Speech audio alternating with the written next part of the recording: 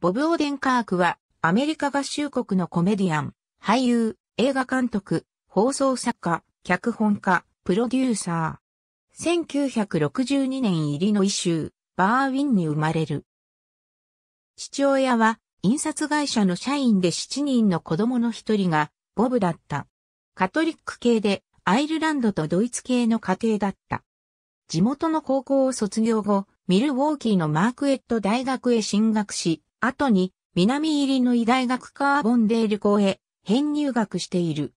地元イリノイ州のラジオ局からキャリアをスタートさせ、ラジオ専用のコメディ番組などの制作や台本の執筆なども行った。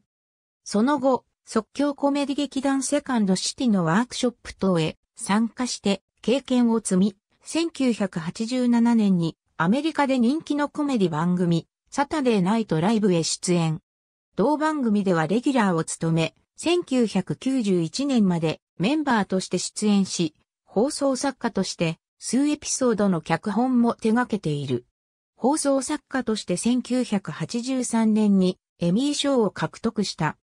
同番組のレギュラーを卒業した後は、放送作家としての活動を活発化させ、デビッド・レターマンが司会を務めるレートナイト・ウィズ・デイビッド・レターマンへも参加している。また、サタデーで共演して、イライ・ベン・スティラーの友人でもあり、スティラーが司会のテレビ番組へも出演。同番組への出演で1993年に2度目のプライムタイムエミー賞を受賞した。